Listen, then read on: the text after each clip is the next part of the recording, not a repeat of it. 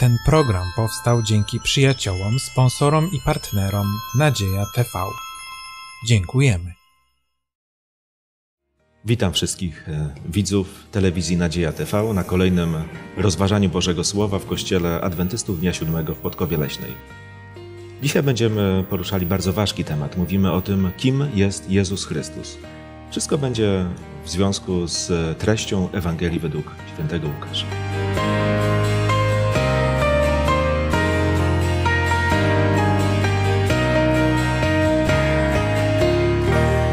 Razem ze mną w studium e, Słowa Bożego biorą dzisiaj udział e, Asia, Ola i Kasia. A ja na imię mam Mariusz. Rozpoczynamy czytać Biblię, więc e, pomódlmy się wcześniej. Ukochany nasz Panie, przychodzimy teraz do Ciebie, aby z głębi serca podziękować Tobie za ten czas, kiedy możemy studiować Twoje słowo, uczyć się. Ale Ojcze, potrzebujemy Twojej mądrości i Twojego ducha. Dlatego prosimy Cię, otocz nas teraz szczególną, Panie Boże, opieką, również tych, którzy nas oglądają i słuchają, aby i oni byli ubogaceni Twoim słowem i duchem Twoim. Dziękujemy Tobie za ten czas. Zapraszamy Cię tutaj do nas w imieniu Jezusa Chrystusa. Amen. Amen. Amen. Więc przypominam, mówimy o tym, kim jest Jezus Chrystus. Tak naprawdę słowem z Ewangelii Łukasza, który jest takim przewodnim, e, to jest urywek z Ewangelii Łukasza 9 rozdziału, 20 werset, który mówi: A wy za kogo mnie macie? Tak pytał e, Pan Jezus swoich uczniów. Myślę, że jest to pytanie, e, jest to pytanie nie tylko ciekawe, prawda? Bo z drugiej strony tylko tak można byłoby do tego podejść. Ale tu nie chodzi o ciekawość. To jest pytanie bardzo ważne.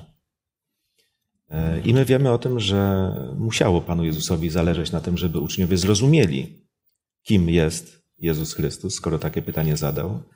I mamy wiele sytuacji, w których rzeczywiście dawał się nam poznać. Natomiast ludzie na jego objawienie, na jego przedstawianie się światu reagowali bardzo różnie. Mamy szereg historii, które dzisiaj poruszymy. Pierwsza mówi o wydarzeniach w Nazarecie. Czwarty rozdział, werset szesnasty, to początek historii o tym, jak Pan Jezus się tam znalazł. Jak w ogóle zareagowali mieszkańcy Nazaretu na Jezusa Chrystusa? Na początku, kiedy Jezus, Jezus Chrystus przyszedł do Nazaretu, to wszyscy słuchali Jego, to co On mówił i to co czytał, Pismo Święte. Ale kiedy doczytamy tą historię do końca, to widzimy, że nas na koniec wyprowadzili Go do góry i chcieli zrzucić z tej góry. Nie podobało się im to, co On mówił o sobie. To jest ciekawe, prawda? Przyzwyczailiśmy się mówić o tym, że Pan Jezus jest osobą niezwykłą, a tutaj ludzie próbują go zabić. I nie mówimy jeszcze o Golgocie, mówimy o początkach jego służby.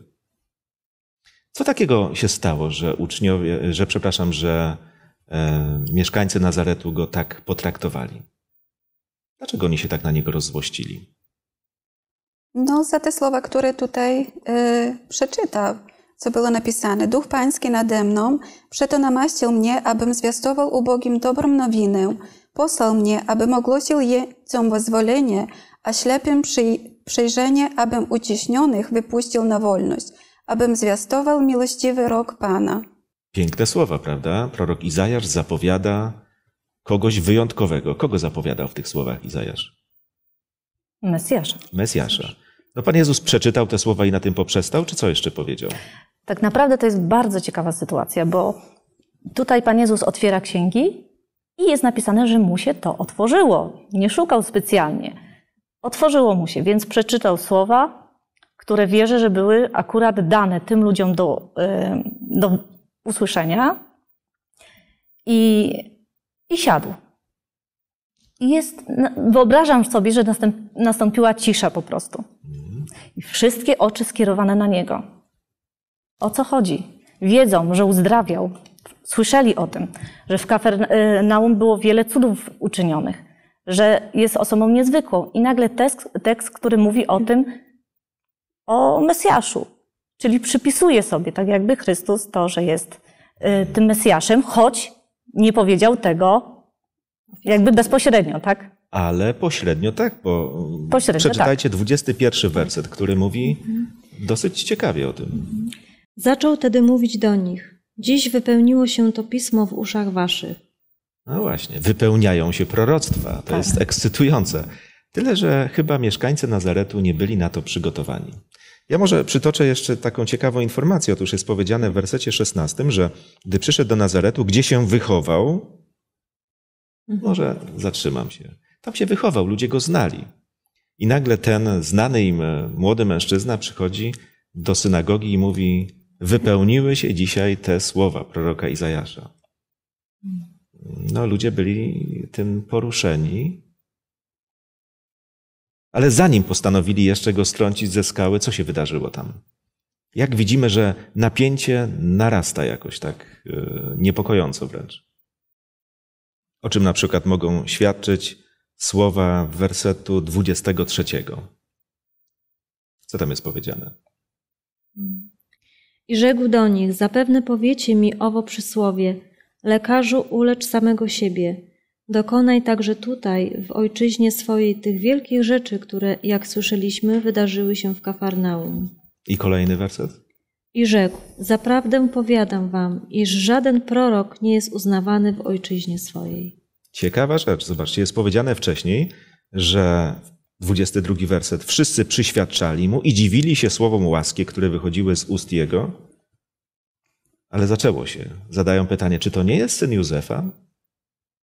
Jezus, który dobrze wiedział, co jest w ludziach, mówi: No tak. Już zaczynają na mnie patrzeć krytycznie. Już coś się dziwnego w nich rodzi. I rzeczywiście przyszedł moment, w którym, no owszem, po jeszcze jakimś tam dłuższym nauczaniu Pana Jezusa, e, no ludzie postanowili go wręcz zgładzić.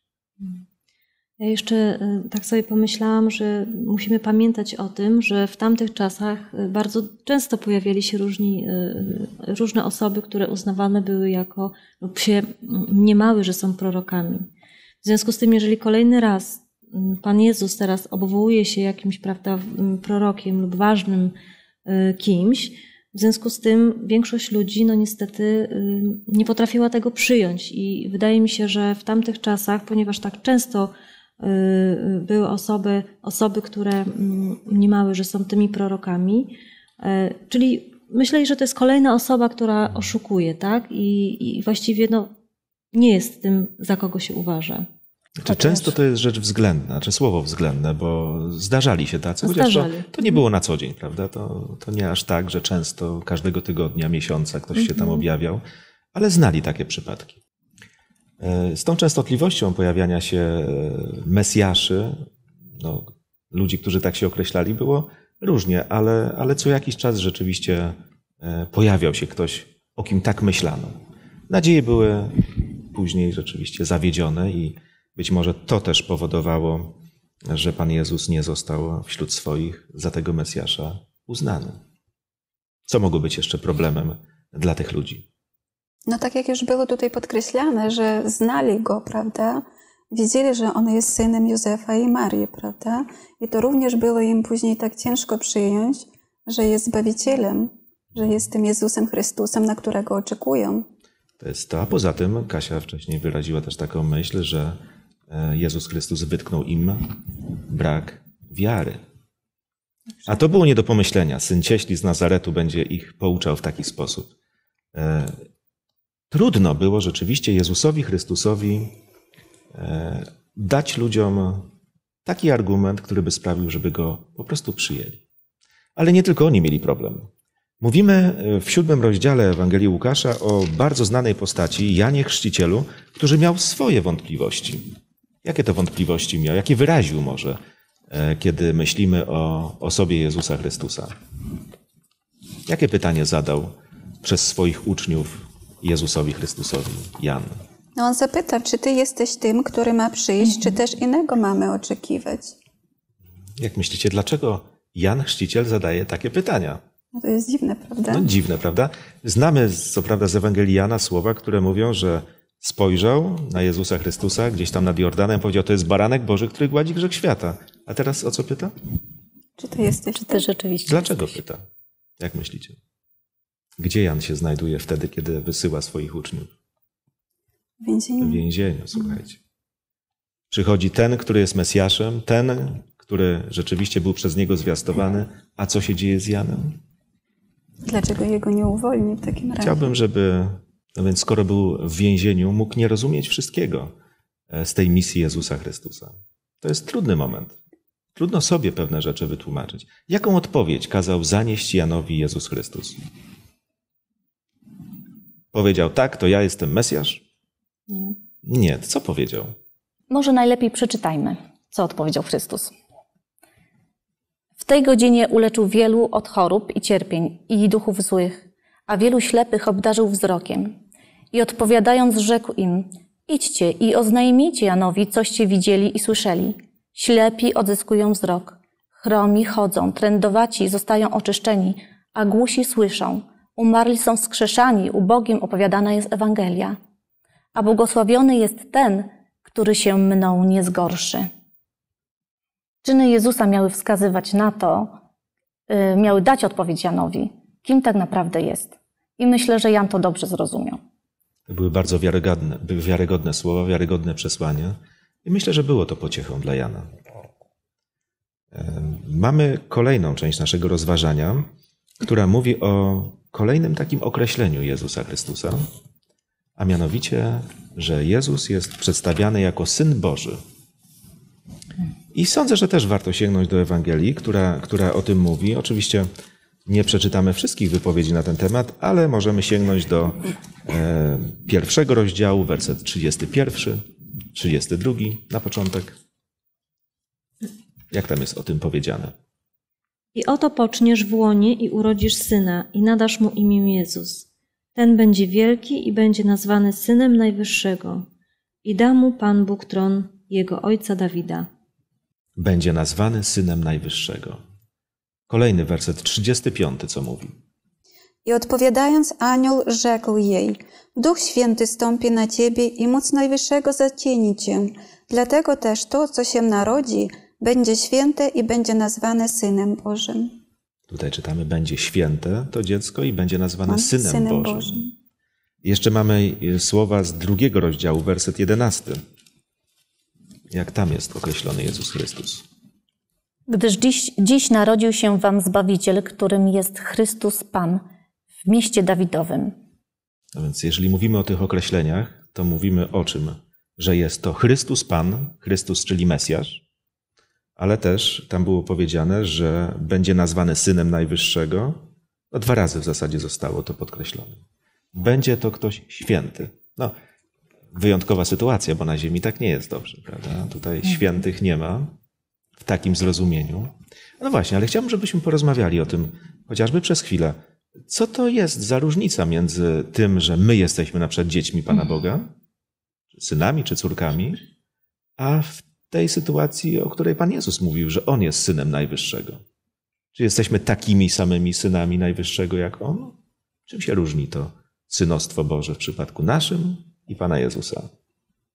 Inaczej może zapytam. Kiedy ktoś mówi, jestem dzieckiem Bożym, to co ma na myśli? Mówię o nas, ludziach. Kasiu, masz dzieci. Kiedy dzieci mówią, e, jestem twoim synem, masz dwóch synów, to co to oznacza? To znaczy, że ja jestem dla nich mamą, czyli osobą, która ich urodziła, Urodziła, tak? dokładnie. No dokładnie. E, razem z mężem daliście im początek. No właśnie, i my, kiedy mówimy, jesteśmy dziećmi Pana Boga, to mówimy, on nas stworzył. Prawda? No, Tak. zaczęło się od Adama i Ewy, tak już jest. Ten ojciec zrobił coś więcej, nas też, nas też zbawił, odkupił. Mm, Czy kiedy mówimy o Jezusie Chrystusie, który jest synem Najwyższego, jego też Bóg stworzył? Jego też Bóg odkupił? Oczywiście, że nie. No, oczywiście, że nie. Tak. Tutaj możemy powiedzieć raczej o tym, że tutaj relacje są troszeczkę inne, bo Chrystus ym, jest pochodzenia boskiego i tu mamy na to dowód, tak? To nie było tak, że on y, urodził się jako normalny człowiek jak my, ale specjalnie to jest, ma pochodzenie boskie. To jest bardzo ważna myśl. To jest ogromna różnica między nim a nami. E, Apostoł Paweł w liście do Filipian powiedział e, coś takiego, że o Jezusie, chociaż był w postaci Bożej, nie upierał się zachłannie przy tym, aby być równym Bogu, lecz wyparł się samego siebie i przyjął postać sługi. No i my w tym momencie rozważania Ewangelii według świętego Łukasza mówimy, no to jest to święte. To jest ten, który został nazwany Synem Bożym, gdy się urodził na tej ziemi. E, ale to jest, to jest coś zupełnie innego. Więc naprawdę pojawił się ktoś wyjątkowy i to określenie Syn Boży tak naprawdę podkreśla jego boską naturę. Ale Pan Jezus też e, jest określany, sam o sobie mówi, że jest Synem Człowieczym. Ile razy w Ewangelii Łukasza Pan Jezus jest nazwany, czy mówi o sobie, że jest Synem Człowieczym? No, aż 25 razy. 25 razy. We wszystkich Ewangeliach jest to powiedziane aż 80 razy. No więc co to znaczy, że Jezus Chrystus mówi o sobie, jestem synem człowieczym? Taka najprostsza myśl, jaka jest z tego? No, że urodził się jako człowiek. Jestem człowiekiem, prawda? Tak. No dobrze, ale idźmy dalej. Jeżeli na przykład Pan Jezus mówi, syn człowieczy jest panem sabatu. Tak jest w Ewangelii Łukasza w szóstym rozdziale i wersecie piątym. To o czym to nam mówi? Mówimy syn człowieczy, ale jeżeli myślimy w kontekście, jak jest napisane Pan Sabatu, to tutaj nie możemy mu odebrać jakby e, roli stwórcy też. Czyli Chrystus tu jest przedstawiony jako stwórca I prawodawca. i jako prawodawca. Dokładnie, jako prawodawca, więc y, syn człowieczy, nazwa, syn człowieczy i owszem jest człowiekiem w tym momencie, ale jest również prawodawcą. No więc trzeba być e, uważnym czytelnikiem, prawda? Tak. Żeby czasami czegoś nie ująć Panu Jezusowi, kiedy mówimy syn człowieczy, człowiek. Ktoś powie taki jak ja. Spokojnie, powoli. Pan Jezus dawał inne przykłady, które e, pomagają nam, pozwalają nam zobaczyć kogoś więcej w Jezusie Chrystusie. Na przykład, kiedy czytamy w Ewangelii Łukasza e, w piątym rozdziale, wersecie 24 takie słowa. E, Synu, odpuszczone są ci grzechy twoje. Ta historia się tak nie kończy. Pan Jezus mówi, abyście wiedzieli, że Syn Człowieczy ma na ziemi prawo odpuszczać grzechy, rzekł paralitykowi, weź swoje łoże i chodź. I on to zrobił. Jak to świadczy o jego, no właśnie, człowieczeństwie, czy jest tylko człowiekiem? No właśnie sam ten tekst nam już daje odpowiedź, że y, Pan Jezus nie jest człowiekiem, ale przede wszystkim jest y, Bogiem i to tylko On może odpuszczać grzechy. Człowiek tego uczynić nie może. No właśnie. To człowieczeństwo Jezusa Chrystusa to nie tylko człowieczeństwo. To jest bardzo ważna myśl. E, Kiedy mówimy o Synu Człowieczym, to te słowa, to określenie Jezusa Chrystusa występuje też w kontekście takiej e, misji o odkupieniu ludzkości. Znamy bardzo dobrze słowa, które mówią: e, Przyszedł bowiem Syn Człowieczy, ażeby szukać i zbawić to, co zginęło. Jest to Ewangelia Łukasza, 19 rozdział, werset 10. Albo na przykład czytamy o tym, że, pan, że Syn Człowieczy musi wiele wycierpieć i być odrzucony. 9 rozdział, werset 22. Więc Syn Człowieczy, który jest Zbawicielem, poszukującym zagubionych ludzi. E, I o tym e, cierpieniu, o śmierci, zmartwychwstaniu też mówi zawsze w kontekście, że to spotka Syna Człowieczego. Jest naszym Zbawicielem. Ale mam jeszcze jedno pytanie. A jeżeli czytamy w Nowym Testamencie o tym, że Pan Jezus wróci kiedyś na ziemię, to wróci jako kto? Czy tam też jest używane to słowo Syn Człowieczy? Czy wróci jako Bóg? Jak mówi o tym Ewangelia Łukasza? 20, przepraszam, 17 rozdział, werset 24, 26, 30. Jak to jest określone? Bo jak błyskawica, gdy zabłyśnie, świeci od jednego krańca nieba aż po drugi, tak będzie i Syn Człowieczy w dniu swoim. A jak było za dni Noego, tak będzie i za dni Syna Człowieczego. Tak też będzie w dniu, kiedy Syn Człowieczy się objawi. Dziękuję bardzo. Więc zobaczcie, to, że Jezus jest synem człowieczym, bo przyszedł na ziemię, to jest normalne, byśmy powiedzieli. Ale przecież jak będzie wracał, nie wiemy kiedy to będzie. To Ewangelia mówi, przyjdzie jako syn człowieczy. E, Ta myśl może brzmieć tak e, normalnie, jak się czyta Ewangelię, ale ona mówi o czymś niezwykłym. O tym, że Jezus Chrystus z tym człowieczeństwem, a więc z nami, z ludzkością, połączył się na zawsze. To nie jest tak, że zmartwychwstał, odszedł i wrócił jako ktoś zupełnie inny. Ewangelia mówi, przyjdzie jako syn człowieczy. To jest ktoś niezwykły. Może warto tu byłoby e, zacytować również e, słowa zapisane w Ewangelii Jana w trzecim rozdziale, e, wiersz 13 i 14 i 15. A nikt nie wstąpił do nieba, tylko ten, który stąpił z nieba, Syn Człowieczy. I jak Mojżesz wywyższył węża na pustyni, tak musi być wywyższony Syn Człowieczy, aby każdy, kto weń wierzy, nie zginął, ale żywot miał wieczny. Tak, inni ewangeliści też mówią o nim jako Synu Człowieczym, Zbawicielu naszym. Ale to jest bardzo ważna myśl, dlatego że bardzo, na, bardzo ważna nazwa Chrystusa, Syn Człowieczy, dlatego że ona, tak jak było w tym tekście y, napisane, że y, tak jak jest napisane w tym tekście, że nie było drugiego takiego, tak, takiej osoby, nie było drugiej, która przyszła z nieba na ziemię, żeby dokonać czegoś takiego dla człowieka. Więc wymiar Syn Człowieczy naprawdę Y, ma bardzo wielkie znaczenie. Znaczenie właśnie tego zbawienia naszego. Więc to jest tak ważny tytuł, bo nie było drugiej takiej osoby w niebie, która by zeszła na ziemię i dokonała dla nas tego, co dokonał Chrystus. To świadczy o tym, że to określenie syn człowieczy znaczy dużo więcej niż tylko człowiek. Tak. Bo to mogłoby go degradować. degradować. Natomiast e, rzeczywiście Jezus Chrystus jakby nie podjął się tylko takiej roli, żeby odegrać jakąś scenę przez 30 lat swojego życia i odejść. Nie? Tylko jest z nami. Na zawsze. No to piękne. E, myślę, że nawiążemy do historii z dziewiątego rozdziału Ewangelii Łukasza. E, tutaj czytamy e, troszeczkę więcej na temat tych wszystkich słów, które Mm, właściwie zapoczątkowały nasze rozważania. E, Pan Jezus zadaje pytanie, za kogo ludzie mnie uważają? Jak wtedy odpowiedzieli apostołowie? Że jesteś prorokiem, między tak. innymi, że jesteś y, nauczycielem. Tylko później padła odpowiedź, że jesteś synem Bożym. Ludzie jakby się bali powiedzieć tego, tak?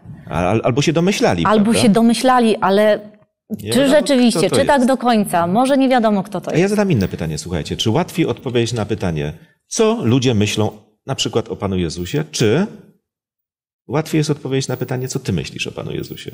Chyba to pierwsze pytanie jest łatwiejsze. Takie ogólne, prawda? Co ludzie mówią? Nie jedną książkę na ten temat napisali. Tak. Można powoływać się na ludzi mniej, bardziej znanych. Ale kiedy pada pytanie, a wy za kogo mnie uważacie? Bo w końcu apostołowie takie pytanie usłyszeli. Padła odpowiedź właściwa, słuszna. Duch Święty objawił Piotrowi e, prawdę, która jest jednoznaczna. Ty jesteś kim, powiedział. Ale to jest takie ciekawe, że Pan Jezus w ogóle zadał takie pytanie. E, tak mi się wydaje, że co chciał przez to mm, uzyskać? Odpowiedź e, jakieś poświadczenie, potwierdzenie tego, że, y, że uczniowie rzeczywiście wiedzą, kim on naprawdę jest, czy, czy po prostu po co zadał to pytanie? Myślę, że Twoje pytanie jest bardzo dobre. bardzo dobre, słuchajcie. No po co w zasadzie to zrobił? Próżność przez niego przemawia nie.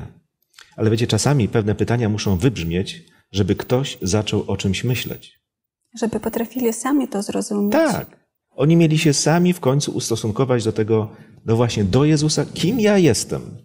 Ale to jest ciekawe, że prawie 2000 lat temu to pytanie było zadawane, prawda? I ono jest aktualne w dzień dzisiejszy. Oczywiście, bo to pytanie tak naprawdę ma w końcu dotrzeć do każdego człowieka. I każdy z nas powinien sobie właśnie odpowiedzieć. Każdy bez jest? wyjątku. Kim jest. jest. dla mnie Jezus? Bo, bo to jest rzeczywiście kwestia tej dobrej, zdrowej relacji. E, mhm. Bo to jest też tak naprawdę kwestia naszego zbawienia. Czyli y, dlatego jest to pytanie tak bardzo ważne.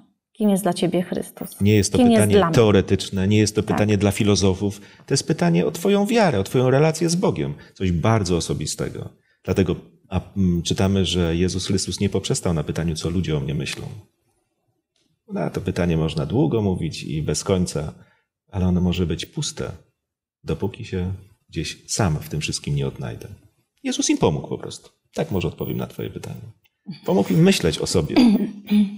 Albo Maria, zastanawiać się. Wspomniałeś właśnie o filozofach i tak chciałabym przytoczyć e, słowa pewnego filozofa, fizyka i matematyka e, francuskiego, e, Pascala, który powiedział, że m, mm, każdy potrzebuje Jezusa, że w sercu każdego człowieka jest puste miejsce o kształcie Boga I to miejsce właśnie pozwala wypełnić tylko Bóg, ale przez Jezusa Chrystusa. No i Jezus nam próbuje, się odna- próbuje pomóc nam się odnaleźć tym wszystkim, nie? Więc, Tak. więc to, to, to zachowanie naprawdę nie jest przypadkowe i nie ma spowodować ani konsternacji, ani zakłopotania uczniów, tylko mają się tak naprawdę do Niego zbliżyć. Może nawet zdeklarować, słuchajcie. Ja jeszcze się y, zawsze zastanawiałam właśnie nad tym y, tekstem mm, z Ewangelii Łukasza, jak Pan Jezus właśnie czytał te pisma, ot- otworzył księgi i czytał.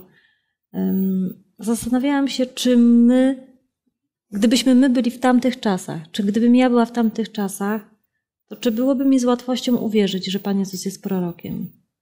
Nie wiem. I właśnie przekładając to na dzisiejsze czasy, e, mimo że przecież uczniowie w, tamtych, e, w tamtym czasie widzieli mnóstwo rzeczy, które Pan Jezus robił, i dobrych, prawda, i, i budujących, czynił cuda, mimo wszystko zadał im takie pytanie, za kogo wy mnie uważacie? Natomiast w dzisiejszych czasach ludzie również mają Słowo Boże. E, Może nie ma takich cudów namacalnych, tak, jak było to za czasów Jezusa. Być może są, ale nie dostrzegamy ich na co dzień. E, Czy dzisiaj to pytanie również można zastosować do nas na zasadzie takiej, że mm, Pan Jezus jest tym, który przychodzi i który ma przyjść? I dlaczego ludzie w dzisiejszych czasach nie potrafią, mimo że mają Ewangelię, mimo że mają proroctwa, nie potrafią tego przyjąć? Czy to można jak gdyby y, odwołać się do, z tym pytaniem, które Pan Jezus zadał do, do tych czasów dzisiejszych? No na pewno to wszystko ma praktyczne znaczenie, aczkolwiek mówi nam też o tym, że ludzie do pewnych odpowiedzi dorastają. To nie jest tak, że Być nagle, tak prawda, że usłyszę i od razu mam przy tym swoje serce. Nie. Mm. Czasami jestem zdystansowany, czasami chcę więcej czasu mieć, chcę pomyśleć, poszukać, pomodlić się. Czasami jestem na, na etapie życia takim, w którym neguję wszystko, co, co duchowe, ale Bóg jest cierpliwy. Zobaczcie, że w przypadku apostołów Pan Jezus też nie zadał tego pytania tak e, bez przygotowania. E, Mamy tę historię, o której mówimy, mamy zapisaną w dziew- dziewiątym rozdziale Ewangelii Łukasza, w wersecie, no, od 18 wersetu. Natomiast wcześniej, bo na przykład już w ósmym rozdziale czytamy o tym, że Pan Jezus okazuje na oczach apostołów ogromną moc nad przyrodą, ucisza burzę. Ludzie zadają sobie pytanie, kim on jest? To jest normalne. Czytamy między innymi, że Pan Jezus mm, wyganiał demony. I ludzie też zadawali sobie pytanie, nawet demony są, go, są mu podległe? E, W ósmym rozdziale też czytamy, że e, pomnożył jedzenie, to znaczy nakarmił tysiące ludzi małą ilością chleba. O czym ludzie wtedy myśleli? W końcu nawet czytamy w tym ósmym rozdziale, że wskrzesił córkę Jaira, a więc pokonał śmierć. Więc ludzie, którzy sobie zadawali pytanie, kim on jest, kim on jest, w końcu Pan Jezus zadał pytanie im, a wy za kogo mnie uważacie? Natomiast odpowiedź, e, którą mogli udzielić, no Pan Jezus chyba pod tą, pod tą odpowiedź swoim życiem już ich podprowadził. Także oni nie byli zdani na siebie i domysły, tylko skojarzcie fakty. Co widzieliście, co słyszeliście, czego byliście świadkami, kim ja jestem.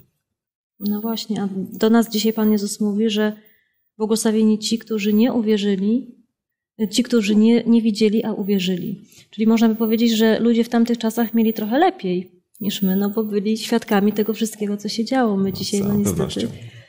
No właśnie, Mamy takie słowo. ocenianie mm, naszym rozumem, czy branie na logikę, prawda, ale jest y, po- pozbawione bez, y, y, no, niepodparte naszą wiarą, no to jest, to nie ma tutaj mądrości Bożej, prawda, postępujemy, pewne rzeczy nie da się nam zrozumieć, tylko musimy uwierzyć w to, że to tak jest.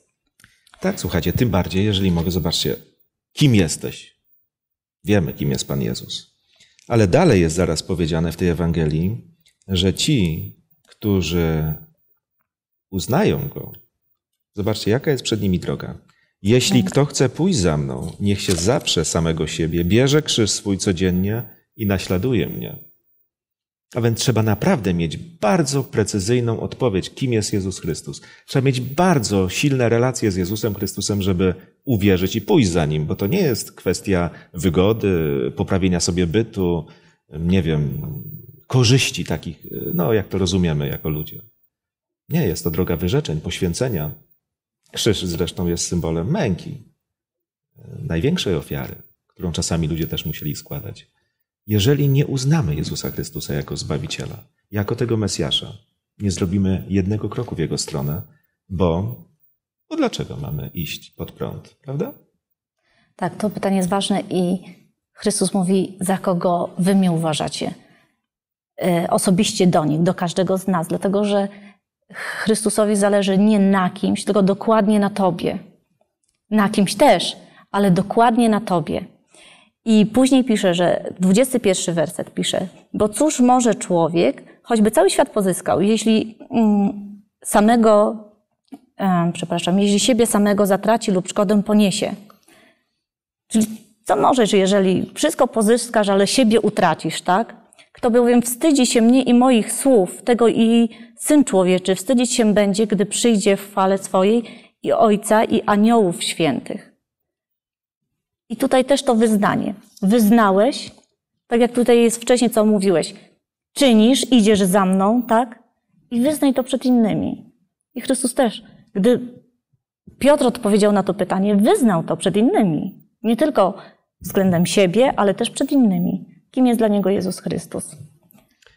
Wiara w Jezusa Chrystusa to nie jest jakiś, nie wiem, splot różnych dziwnych sytuacji, emocjonalnych przeżyć, ale jest to, jest to taka realna więź z Jezusem Chrystusem, którego znamy. My go poznajemy z kart Słowa Bożego, też go oglądamy wiarą, prawda, w ten Mhm. sposób. Ale to jest podstawa. Czyli jednym słowem, y, opowiedzenie się, odpowiedzenie sobie na to pytanie wiąże też ze sobą pewne konsekwencje. Całe życie. Słuchaj. Całe życie. Jeszcze kolejna e, historia, którą chciałbym, żebyśmy e, wzięli pod uwagę. Opisana jest też w dziewiątym rozdziale Ewangelii Łukasza, od wiersza 28, gdzie czytamy o przemienieniu Pana Jezusa. Jeżeli przemienienie, to co, co mamy na myśli jako chrześcijanie, słysząc takie stwierdzenie? Co to, co to było to przemienienie Pana Jezusa? Przemienienie. Do tej pory uczniowie nie widzieli Jego chwały tak, jak wtedy była objawiona ta chwała, którą zobaczyło tylko, zobaczyło tylko trzech uczniów. Góra, Pan Jezus, jak nigdy do tej pory w wielkiej chwale, Mojżesz i Eliasz przychodzą z nieba, Mm, ale to też nie była tylko demonstracja e, wyjątkowości Jezusa Chrystusa. O czym rozmawiali Mojżesz i Eliasz z Jezusem Chrystusem?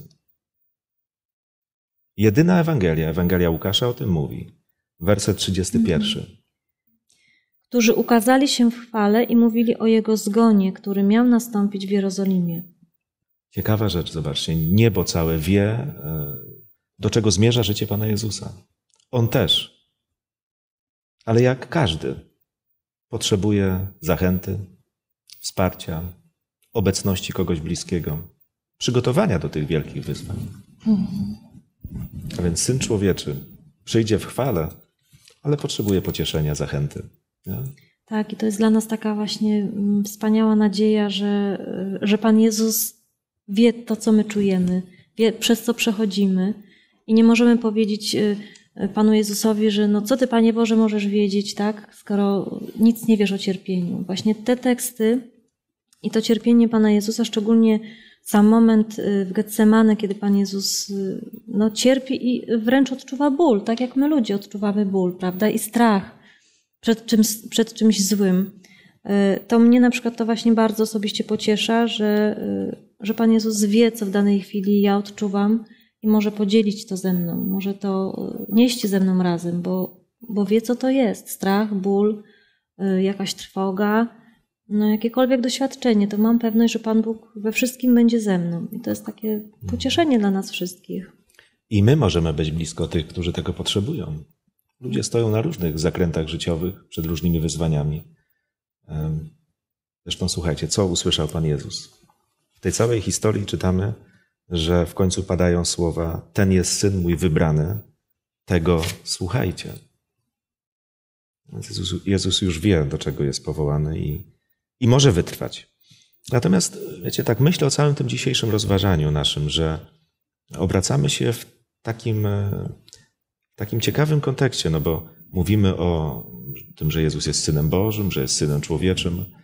E, Myślę, że potrzebujemy wiele pokory i musimy wyczuwać też pewne granice naszego rozważania. Bo czasami o jedno słowo za dużo to może być już herezja. Chodzi o to, że jeżeli mówię o tym, co czytam w Słowie Bożym, to jestem bezpieczny. Jeżeli dodaję słowa, które no, gdzieś tam rozwijają tę myśl, ale w niewłaściwą stronę, po prostu okradam Pana Jezusa z chwały, którą ma. Stąd rzeczywiście nie bez powodu się modliliśmy na rozpoczęcie tego rozważania. Potrzebujemy tej mądrości. Może przytoczmy jeszcze słowa z pierwszego listu apostoła Pawła do Tymoteusza. Kasiu, może odszukaj. Trzeci rozdział pierwszego listu do Tymoteusza i werset szesnasty. Tam właśnie apostoł Paweł tak e, bardzo sugestywnie mówił o tym, co tak naprawdę jako chrześcijanie możemy myśleć o ucieleśnieniu Jezusa Chrystusa, o tym, że przyszedł na ziemię. Bo bezsprzecznie wielka jest tajemnica pobożności. Ten, który objawił się w ciele, został usprawiedliwiony w duchu. Ukazał się aniołom, by zwiastowany między, był zwiastowany między poganami. Uwierzono w niego na świecie. Wzięty został w górę do chwały. Jest napisane, że to wielka tajemnica pobożności. Jesteśmy chyba uprzywilejowanymi ludźmi, którym to Bóg ten rąbek tajemnicy odsłania, prawda? Więc y, możemy Bogu za to podziękować i chyba właśnie modlitwą zakończymy nasze rozważanie. Drogi Panie, przechodzimy przed Twoje oblicze, aby podziękować Ci za te słowa, które Panie nam dałeś, za Twoje Pismo Święte, z którego możemy czerpać tyle dobroci, tyle mądrości i pozwól, abyśmy mogli w swoim życiu, Panie, żyć tak, jak Ty chcesz, tak jak Ty wskazujesz nam, abyśmy zdążali drogą, Panie, do Ciebie i mogli oddawać Tobie cześć, chwałę i uwielbienie za wszystko, co dla nas czynisz. Amen. Amen. Amen. Kończymy nasze rozważanie w dniu dzisiejszym. Chciałbym wszystkim, e, wszystkim Państwu podziękować za to, że wspólnie w tym rozważaniu bierzecie udział. Chciałbym też zaprosić na kolejne rozważanie, które czeka nas już w przyszłym tygodniu, a zatytułowane jest Powołanie do uczniostwa. Bardzo ważne i myślę, że będzie też ważne dla nas. Jeszcze raz serdecznie dziękuję za wspólne, wspólnie spędzony czas i życzę Boże błogosławieństwa.